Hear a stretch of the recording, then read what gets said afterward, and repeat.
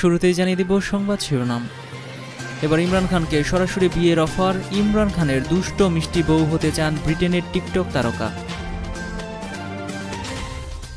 এবার তালিবানের পাশে এসে দাঁড়াল কাতার, কাতারের প্রধানমন্ত্রীর সাথে তালিবান প্রধানের গোপন আলোচনা। যুদ্ধ করতে অস্বীকৃতি, মায়ানমার সৈন্যদের, সামরিক বাহিনী থেকে পালাচ্ছে শত শত সৈন্য। পিছু হটতে থাকা ওয়াগনার যোদ্ধাদের উপর ভয়াবহ হামলা চালালো ইউক্রেন। প্রতিশোধ হিসেবে ইউক্রেনের সেনা গোয়েন্দা সংস্থার সদর দপ্তরে ভয়াবহ হামলা চালানো হয়েছে, জানালেন পুতিন।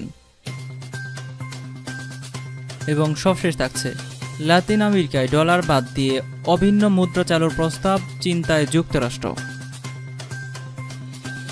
এতক্ষণ শুনছিলেন সংবাদ শিরোনাম, এবার চলুন বিস্তারিত জানা যাক। পাকিস্তানের প্রাক্তন প্রধানমন্ত্রী ইমরান খানকে বিয়ে করতে চান ব্রিটেনের এক টিকটক প্রভাবী। তার দাবি, ইমরানের তৃতীয় স্ত্রী বুশরা বিবির জীবন যাপনের ধারা ইমরান খানের ঝকঝকে জীবনের সঙ্গে মিলে না। ইমরানের জীবনে গ্ল্যামার দরকার, আর তিনি সেই গ্ল্যামার গার্ল হবেন। ব্রিটেনের ওই টিকটক সেলিব্রিটির নাম জিয়া খান। তিনি জানিয়েছেন, তিনি শুধু প্রাক্তন পাক প্রধানমন্ত্রীকে বিয়ে করতে চান না, বুশরার সঙ্গে তার বিচ্ছেদ করাতে চান। একটি টিকটক ভিডিও তৈরি করে নিজের বক্তব্যে জানিয়েছেন জিয়া। তাতে তিনি বলেছেন, প্রাক্তন ক্রিকেট তারকা তথা পাক রাজনৈতিক নেতা ইমরানের ভক্ত তিনি। সুযোগ পেলে ইমরানের চতুর্থ স্ত্রী হতে তার কোনো আপত্তি নেই। বরং তিনি ইমরানের স্ত্রী হলে কেমন স্ত্রী হবেন তারও বিস্তারিত ব্যাখ্যা দিয়েছেন। টিকটক তারকা তার ভিডিওতে বলেছেন, আমি ইমরানের জীবনে জেল্লা ফিরিয়ে আনতে চাই। ওর প্রথম জীবনে জেমাইমা ছিলেন তারপর এক সুন্দরী সাংবাদিককে বিয়ে করেছিলেন ইমরান খান। কিন্তু তারপর বুশরাকে বিয়ে করে ধার্মিক জীবনযাপন শুরু করেছেন ইমরান খান। জিয়া মনে করেন, ইমরানের জীবনে ওই আগের জেল্লা ফেরানো দরকার। ইমরানের আসলে একখানি দুষ্ট, মিষ্টি বউ দরকার।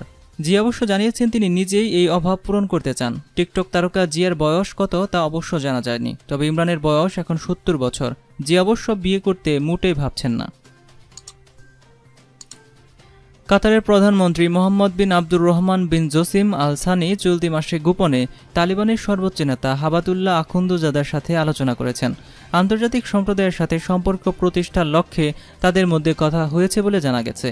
আফগানিস্তানের দক্ষিণাঞ্চলীয় নগরী কান্দাহারের বারোই মে তাদের মধ্যে এই আলোচনা হয় বলে জানা গেছে। এটি ছিল তালিবান প্রধানের কোনো বিদেশি নেতার সাথে প্রথম আলোচনা। সূত্র জানিয়েছেন মার্কিন প্রেসিডেন্ট জো বাইডেনের প্রশাসনকে আলোচনা সম্পর্কে ব্রিফ করা হয়েছে। পরিচয় প্রকাশ না করার শর্তে সূত্রটি জানায়, শেখ মোহাম্মদ তালিবানের ছাত্রীদের উপর পড়াশোনা এবং নারীদের চাকরির উপর নিষেধাজ্ঞা অবসান নিয়ে আলোচনা করেছেন তালিবান প্রধানের সাথে। সূত্রটি জানায়, নারীদের উপর বিধিনিষেধ আরোপ করায় কাতারের তালিবানের সমালোচনা করে। যুক্তরাষ্ট্র মেয়েদের স্কুলে যাওয়া, নারীদের চাকরি করা, তাদের চলাফেরার স্বাধীনতা নিশ্চিত করার দাবি জানিয়ে আসছে। তবে এই বৈঠকের ব্যাপারে কোনো মন্তব্য করতে অস্বীকার করেছে হোয়াইট হাউস। তালিবানও এই ব্যাপারে কোনো মন্তব্য করেনি। মায়ানমারের সামরিক বাহিনী ছেড়ে সৈন্যরা চলে যাচ্ছে এবং এই বাহিনীর জন্য নতুন সৈন্য নিয়োগ দেওয়াও কঠিন হয়ে পড়েছে। সেনাবাহিনী ত্যাগ করে চলে যাওয়া সৈন্যরা বলছে, দুবছর আগে অভ্যুত্থানের মাধ্যমে ক্ষমতা দখল করে নেওয়া সামরিক জান্তা বর্তমানে গণতন্ত্রপন্থী সশস্ত্র আন্দোলন দমন করতে হিমশিম খাচ্ছে। সেনাবাহিনী ত্যাগ করে নিয়া অং বলেন, কেউ সামরিক বাহিনীতে যোগ দিতে চায় না। তাদের নিষ্ঠুরতা এবং অন্যায় কর্মকাণ্ডকে লোকেরা ঘৃণা করে। প্রথমবার নে অং যখন তার ঘাঁটি থেকে পলানোর চেষ্টা করেন, ওই সময় তাকে রাইফেলের বাট দিয়ে মারাত্মকভাবে পেটানো হয় এবং তাকে বলা হয় বিশ্বাসঘাতক। দ্বিতীয়বারের চেষ্টায় তিনি পালিয়ে যেতে সক্ষম হন এবং বিরোধী গ্রুপগুলোর সহযোগিতায় সীমান্ত পার হয়ে চলে যান থাইল্যান্ডে। এখন তিনি আরও একশো জন সৈন্য এবং তাদের পরিবার সদস্যদের সাথে গোপনে একটি বাড়িতে থাকেন, যারা সম্প্রতি মায়ানমারের সামরিক বাহিনী ছেড়ে পালিয়ে গেছে। এই সৈন্যরা তাদের নিজেদের দেশের লোকজনের সাথে যুদ্ধ করতে অস্বীকৃতি জানিয়েছে। তারা আত্মগোপন করে আছে বলেই তাদের আসল নাম প্রকাশ করা হচ্ছে না। মায়ানমারের সামরিক বাহিনীর বিরুদ্ধে যারা প্রতিরোধ আন্দোলন গড়ে তুলছে, তারাই তাদেরকে আশ্রয় এবং নিরাপত্তা দিচ্ছে।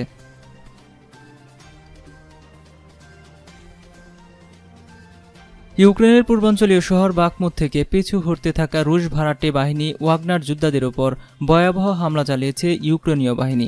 বুধবার এই হামলায় প্রায় আশি যোদ্ধা নিহত এবং একশো উনিশ জন আহত হয়েছেন বলে দাবি করেছে ইউক্রেনের সশস্ত্র বাহিনীর মুখপাত্র শেরহি চেরেবাটি। চেরেবাটি জানান, রাশিয়ার একটি সাজোয়া যান, ড্রোন, দুটি বাহন এবং পাঁচটি গোলাবারুদের ডিপু ধ্বংস করেছে ইউক্রেনীয় সেনারা। তিনি বলেন, সম্প্রতি সংঘাতের মাত্রা উল্লেখযোগ্য হারে কমেছে। অবস্থান পরিবর্তন করেছে রুশ সেনারা। ভাড়াটে ওয়াগনার যোদ্ধাদের সরিয়ে নিয়েছে। সম্প্রতি বাকমুদ থেকে যুদ্ধ সরিয়ে নেওয়ার ঘোষণা দিয়েছে ওয়াগনার গ্রুপ। সেনা প্রত্যাহার করে একে জুনের মধ্যে রুশ বাহিনীর, রুশ সামরিক বাহিনীর কাছে অবস্থান হস্তান্তরের কথা বলেছিল ওয়াগনার প্রধান ইয়েবে জেনি প্রিগোজিন। চলতি মাসের পঁচিশ তারিখে ভিডিও বার্তায় এমন ঘোষণা দেন তিনি। রুশ প্রতিরক্ষামন্ত্রী সের্গেই সুইগো এবং সেনাপ্রধান ব্যালেরি রেগাগোমিস উপর ইচ্ছাকৃত গোলাবারুদের সরবরাহ কমিয়ে দেওয়ার অভিযোগ তুলেছে। প্রিগোজিন বলেন, প্রায় পঞ্চাশ হাজার সেনা নিয়োগ দিয়েছিলাম। তাদের বিশ শতাংশই বাকমুদ যুদ্ধে প্রাণ হারিয়েছে।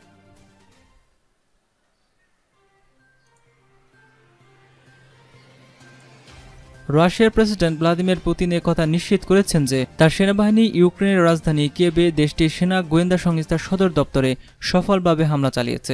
তিনি বলেছেন, আমরা বহুদিন ধরে ইউক্রেনের সিদ্ধান্ত গ্রহণকারী কেন্দ্রগুলোতে হামলা চালাচ্ছি। স্বাভাবিকভাবেই ইউক্রেনের সামরিক গোয়েন্দা বিভাগের সদর দপ্তর এই ক্যাটাগরিতে পড়েছে। আর ওই সদর দপ্তরে দুই থেকে তিন দিন আগে হামলা হয়েছে। রুশ প্রেসিডেন্ট আরও বলেছেন, ইউক্রেন থেকে পালানো একটি পাইলটবিহীন বিমান বা ড্রোন মঙ্গলবার রাশিয়ার রাজধানী মস্কোয় পৌঁছে। তিনি বলেন, রাশিয়ার আবাসিক এলাকাগুলো লক্ষ্য করে কিয়েবের ড্রোন ড্রোন হামলার লক্ষ্য রুশ নাগরিকদের মধ্যে যুদ্ধ সম্পর্কে ভীতি তৈরি করা। এ সম্পর্কে এর মাধ্যমে ইউক্রেন সন্ত্রাসী তৎপরতা চালাচ্ছে বলে অভিযোগ করেছেন ভ্লাদিমির পুতিন। তিনি বলেছেন, যুদ্ধ বন্ধ করতে রাশিয়ার বেসামরিক নাগরিকদেরকে সরকার বিরোধী বিক্ষোভ দেখাতে উস্কানি দেওয়ার জন্য কিয়েভ রাশিয়ার আবাসিক এলাকায় হামলা চালাচ্ছে।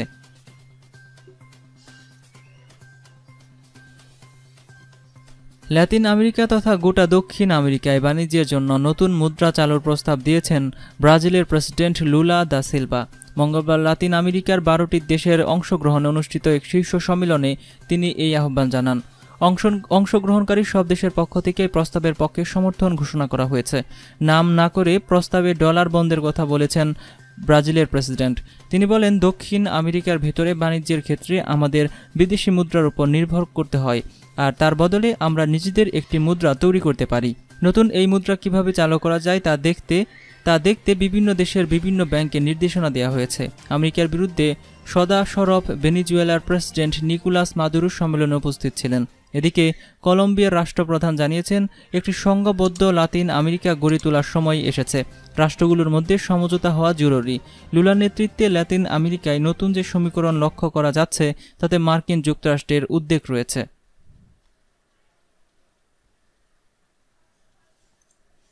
আজকের মতো এ পর্যন্তই ছিল। ভিডিওটি সম্পর্কে আপনাদের মতামত অবশ্যই কমেন্ট বক্সে কমেন্ট করে জানাবেন। বিশেষ সর্বশেষ নিউজ সবার আগে দেখতে আমাদের চ্যানেলটি সাবস্ক্রাইব করে পাশে থাকা বেল আইকনটিতে ক্লিক করে রাখুন। এতক্ষণ সাথে থাকার জন্য ধন্যবাদ সবাইকে।